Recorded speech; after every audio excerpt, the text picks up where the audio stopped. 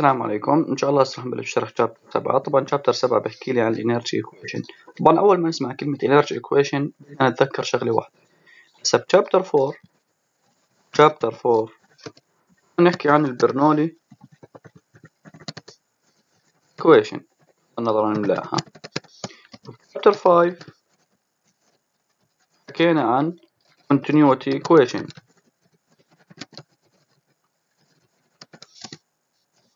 Chapter 6 كنا نحكي عن momentum. Equation إذا بتلاحظ وبشابتر 7 هي آخر مواد إن شاء الله راح نأخذها واللي هي الإنرجي. Equation. إذا بتلاحظ إنه كله equation equation equation. طيب شو شو الفرق بينهم؟ بكل بساطة بنيجي لشابتر 4 شابتر 4 نولي كان يحكي لي كالتالي. كان يحكي لي assume ideal flow. يعني no viscous effect. كمان كمان no. هي الفيسكوسيتي no shaft work. يعني أنا لما أحل أي سؤال على مبدأ برنولي يكون عندي لا عندي viscosity ولا head loss ولا pump ولا توربين يعني أي جهاز ثاني. هذا هيك برنولي كان يحكي لي. ب chapter خمسة كان يحكي لي إنه التدفق الداخل flow in تساوي flow out كان يحكي لي. chapter ستة كان يحكي لي إنه إنه ال flow ضرب في in زائد سم أوف إف تساوي flow ضرب في out التدفق الداخل زائد مجموع القوى يساوي التدفق الخارج بالسرعة. chapter سبعة هتكون عبارة عن Bernoulli equation نفسها. equation plus head أو plus losses plus shaft work. كيف يعني؟ يعني أنا راح تكون معدل مالي هي هي بدي أضيف لها عدة حدود. الحدود اللي بدي أضيفها؟ شو اللي بصير عندي؟ إحنا هناك نحكي إنه ما عندي viscous. لا بشكل عام أي سائل عندنا بالحياة هو فيه لزوجة أنا أي وأنا كنت في الطريق الأرضي حاط حاط بدي أنقل هذا البير للسطح بحاجة ماتور.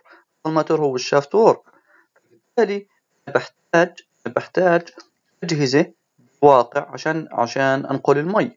بالتالي راح يصير عندي كمان خسران في هنا كاي شيء اسمها انرجي ايكويشن ثاني شغلة بتختلف عن برنولي إنه راح نصير نشتغل إشي واقعي ليس إنه خلص حيلا دائما no viscous no shaft work لا في كل إشي هذا الفرق بين المعادلتين. المبدأ الأساسي نفسه. يعني ممكن أنا في الحل أحتاج معادلة ال continuity عشان أوجد ال Q مثلا أو أوجد ال velocity يعني إنه A1 V1 تساوي A2 V2 بالتالي chapter سبعة راح تكون الموضوع كثير سهل. نفس Bernoulli equation head loss راح يكون معطى أما الفرق؟ هو chapter عشرة راح يكون معي الهيدلوس معطى خلينا نشوف الحكي بشكل عام. أخذنا معادلة برنولي طبقنا عليها أسئلة كثير كنا نحسب السرعة والضغط انتهينا نقطة نهاية أنت المفروض سألت حالك إنه مسار التدفق وما سألت حالك إنه في طاقة بتنتج أكيد في طاقة بسبب حركة. الماء بتدفق مش ممكن يكون في خسارة بالماء. المفروض إنه في. سابقا بشابتر أربعة كنا عاملين له إهمال وبشابتر عشرة راح نحل أسئلة كيف أحسب حساب الطاقة تغير بتصير معادلة اسمها energy equation أول ما أول إشي حكي يعني. طبق أول مبدأ من مبادئ ال thermodynamic اللي بنص على حصول تدفق ثابت. أن العمل الخارجي المنجز على أي نظام بالإضافة للطاقة الحرارية منقولة النظام أو خارجه يساوي تغير طاقة النظام. Steady flow. External work. in any system thermal energy transferred into other system. Equal change of the energy of system. يعني external work ال heat transfer يساوي of energy. الآن الشغل الخارجي يقسم إلى قسمين ال flow work شو الشغل الناتج عن التدفق الثاني يسمى shaft work ناتج عن ال pump أو التوربين مثل موتور المي حكيت عنه الشغل الناتج عن التدفق هو عبارة عن القوة الناتجة عن الضغط في A. الشغلات مش راح نحكي عنها راح نركز على مضخ ال pump ال head إلها بيكون موجب التوربين بيكون سالب. إيش ركز عليه ال pump دائما موجب والتوربين سالب. بخصوص ال heat transfer فهو عبارة عن حرارة منقولة من مصدر خارجي مش راح نركز عليه برضه. ما راح يكون لنا فيه أصلا. بس نيجي عن معادلة ال energy equation راح تكون هي عبارة عن P على جاما زائد زد 1 زائد V 1 تربيع 2 g هاي الألفا نسك منها. هي دائما واحد ممكن تكون اثنين بس بلاها يعني. زائد اتش بي اتش بي اللي هي ال head لما أطبق معادلة energy بين نقطتين. بدي أشوف هل عندي pump ولا لا. إذا عندي pump بحط قيمة. ما عندي pump بتكون صفر. P 2 على جاما بنعرف شو هي والزد بنعرف شو هي. في 2 V 2 تربيع 2 g وال alpha عرفنا شو هي. الألفا هي هون شارحها هون بس مش مهمة توربين إذا عندي بالسؤال توربين بستعملها. ال head loss ال head loss ب chapter سبعة معطاه و chapter عشرة إحنا بنحسبه. تمام؟ فبالتالي المعادلة هي نفسها. خصوص ألفا قيمتها واحد كان laminar أو turbulent. كان ال flow على شكل parabolic يكون اثنين أغلب الأسئلة قيمتها واحد. خصوص اتش بي فهو ال pump head أما ال turbine ال turbine head. head loss عبارة عن كم؟ خسارة الماء خلال التدفق. chapter سبعة بكون معطيني كاقتران أو ما شابه معطيني جاهزة بخصوص عشرة راح أتعلمها بالتفصيل راح نميز الأسئلة بخصوص التوربين وننتقل للأمثلة. أول مثال. أول مثال. نعرف إنه إنه الإشي راح يكون كثير كثير سهل. a horizontal. Is a cooling water at 10 Celsius for a thermal power plant from reservoir as shown head loss in the pipe is 0.02 في L على D في V تربيع 2 G أعطاني قيمة الهيد لوس كاقتران تمام L is the length on the pipe طول البايب V هي المين فيلوسيتي diameter والدي هي الدايمتر إذا الدايمتر 20 والفلو كذا is the pressure مسافة 200 2000 يوم ألفا تو بتساوي واحد. تمام. أول خطوة بعملها هي كالتالي. هي كالتالي. بطبق معادلة الإنرجي ليس برنولي. إحنا هون عندنا خلص. السؤال قال لي في عندي هيد لوس. ما قال لك في هيد لوس خلص ما بتحسبه. ممكن تحسبه في حال chapter 10 إذا قال لك no head losses أو assume no head losses صفره. صفره. ما هون؟ لا أنت هون خلص. تغير معك السؤال ما راح تصفره. شو بتحكي؟ بتحكي هاي معادلة نقطة واحد. وهاي نقطة اثنين عند مسافة ألفين. عند مسافة ألفين. فشو بنحكي؟ بنحكي والله معطيني هون elevation مية ومعطيني هون اللي عند النقطة هاي elevation عشرين يعني Z one زد ون تساوي مية زد تو بتساوي عشرين. يلا. في واحد بتساوي صفر.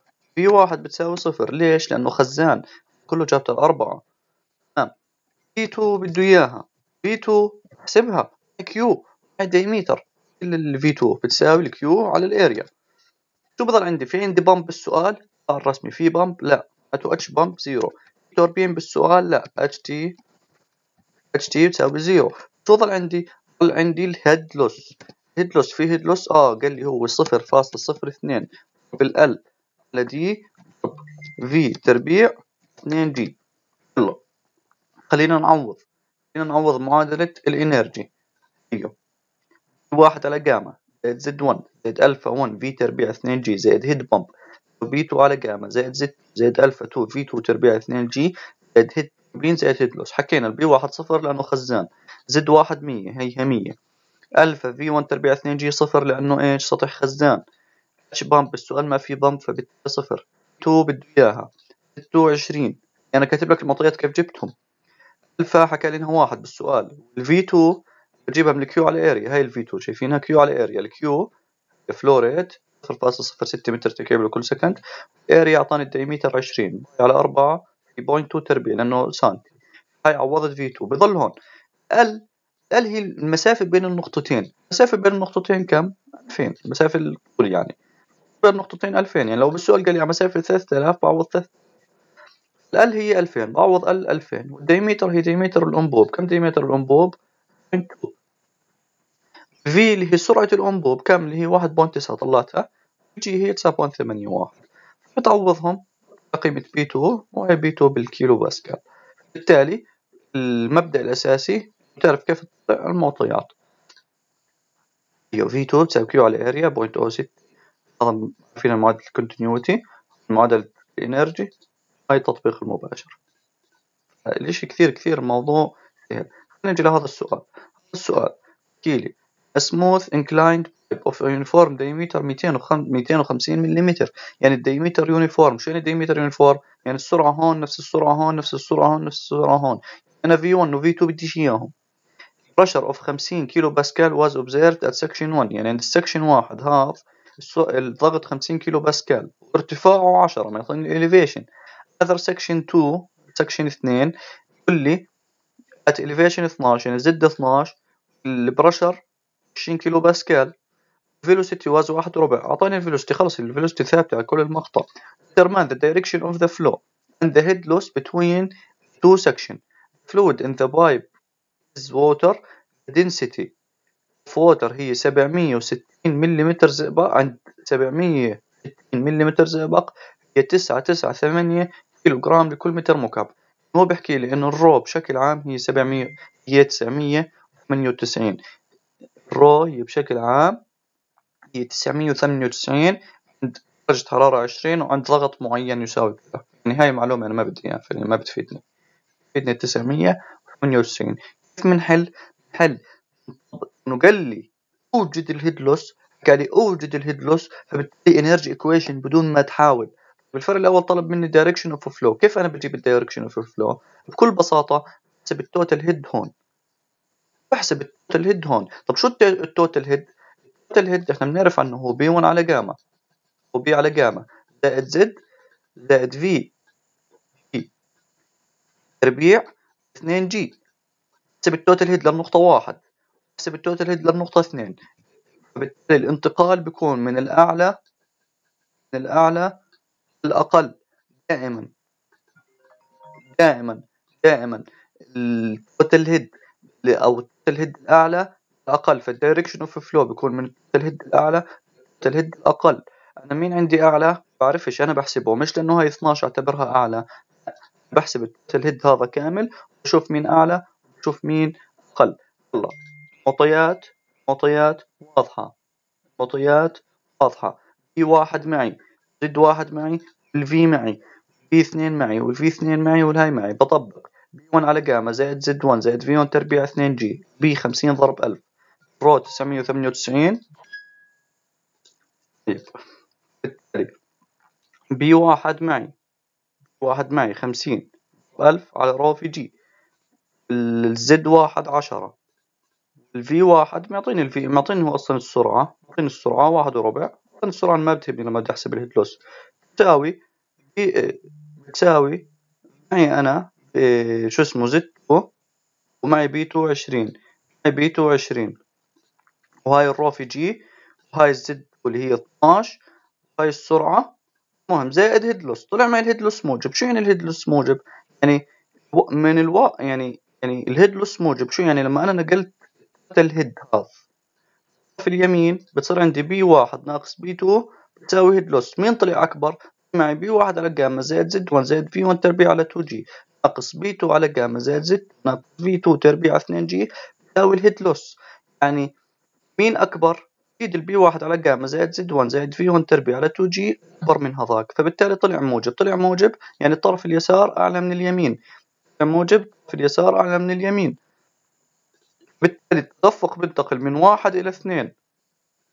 بغض النظر بغض النظر بغض النظر إنه أنا النقطة اثنين مستوى هي أعلى من نقطة واحد لكن أنا بطلع على ال total head. فبالتالي طالب السؤال تجاه تدفق. التدفق دائما بنتقل من الأعلى إلى الأقل. عند النقطة واحد أعلى من النقطة اثنين لأنه ال head loss طلع موجب. ال head loss موجب. بس أنا ما بدي تفهمها إنه ال head loss موجب يعني بدي أنتقل. لا. لا. أنا بدي لازم أفهم إنه أنا ال total head عند النقطة واحد لو أحسبه على جنب على الآلة حاسبة بيطلع معي رقم. وأحسب ال total head عند النقطة الثانية بيطلع عندي رقم. عند النقطة واحد أعلى من النقطة اثنين بالتالي ال head loss بنتقل من واحد إلى اثنين. عشان هيك طلع ال head loss طلع موجب. بس هي فكرة السؤال. طيب هذا السؤال خليه لحال جزئية ال pump جزئية ال pump وال turbine نحلها لحال. وبكون chapter طويل إن شاء الله فيديو قصير وبخلص ويعطيكم العافية.